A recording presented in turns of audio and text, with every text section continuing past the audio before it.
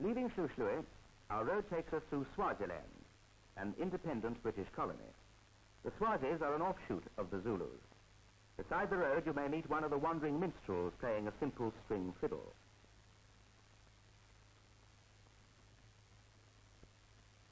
The men wear their hair long, caked with strong soap, which helps it to bleach. In the center of the country is the little town of Mbabane, the capital of Swaziland. Agriculture is the main employment of these people, though there is great forestry development under government sponsorship. And so